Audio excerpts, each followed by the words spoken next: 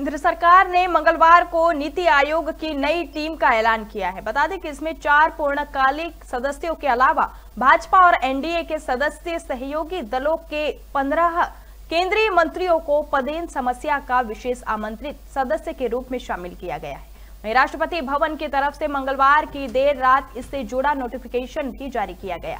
बता दें कि प्रधानमंत्री नरेंद्र मोदी आयोग के अध्यक्ष और इकोनॉमिस्ट सुमन के बेरी उपाध्यक्ष बने रहेंगे। वहीं इसके अलावा scientist V K Saraswat, agriculture economist Ramesh Chand, बाल रोग विशेषज्ञ वी के पॉल और मैक्रो इकोनॉमिस्ट अरविंद विरमानी पूर्णकालिक सदस्य बने रहेंगे।